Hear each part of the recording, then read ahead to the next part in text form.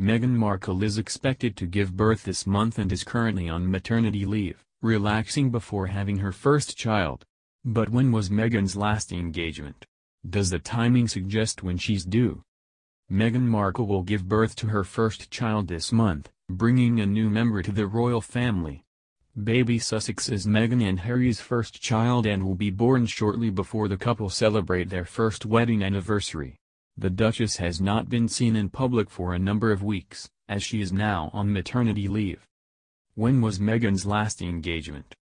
The last time Meghan attended a royal engagement was to visit the New Zealand High Embassy in London with Prince Harry on Tuesday, March 19. The Duke and Duchess made the visit to pay their respects to the victims of the devastating mosque terror attacks in Christchurch. The attacks occurred when a lone gunman opened fire on mosques in Christchurch, New Zealand killing 50 and injuring scores more. Meghan and Harry signed a book of condolence on their visit to the embassy to express their good wishes to the families of the victims. After this touching trip, Meghan withdrew from royal engagements and has remained out of the public eye. Does the timing of Meghan's maternity leave suggest when she's due?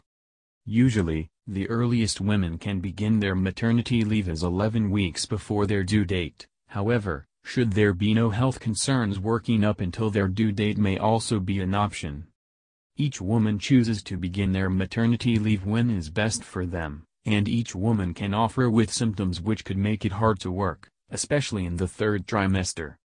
These symptoms can include lack of sleep, heartburn, back pain and more. A doctor or a midwife usually can advise when is best for you to take your leave. Kate, Duchess of Cambridge began her maternity leave a month before she gave birth to her third child. Kate's maternity leave started on March 22, 2018, and she gave birth to Prince Louis on April 23.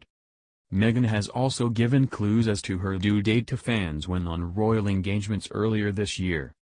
To one she said she was due to give birth in late April, and to another, in January she told she was six months pregnant. One thing is for certain, when Meghan does go into labor, fans will have to wait until an official announcement from the palace to find out.